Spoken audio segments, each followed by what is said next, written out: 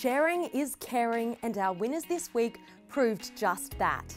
A Ferntree Gully grandmother got the shock of her life when she discovered her $1 million win in the weekend's lotto draw.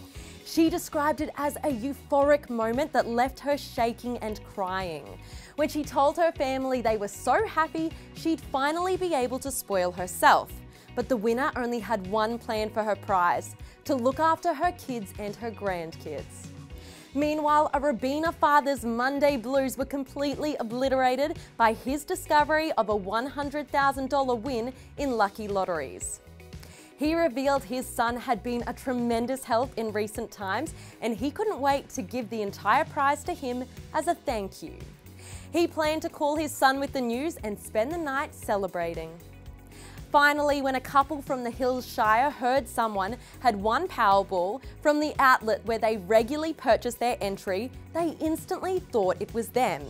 Turns out they were right and they walked away with $4 million.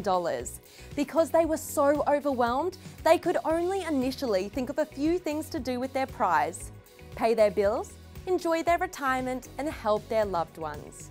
When we speak to most of our winners, we found them to be an incredibly generous bunch, and this week was no different. We can't wait to hear how our next batch of winners plan to enjoy their good fortune and share their prize. Good luck!